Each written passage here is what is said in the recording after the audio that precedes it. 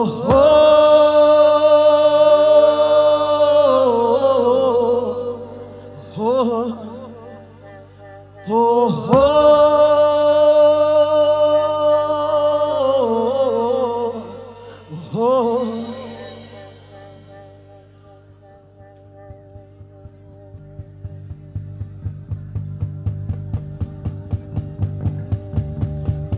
my teraz modlimy o wzrost pewności i autorytetu.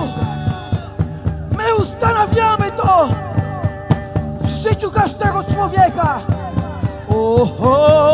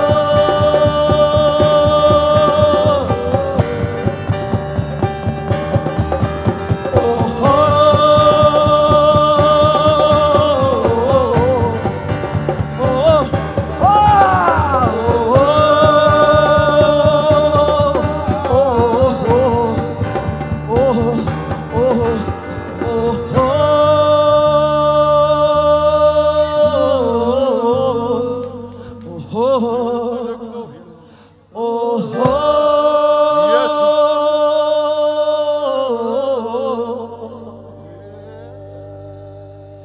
oh.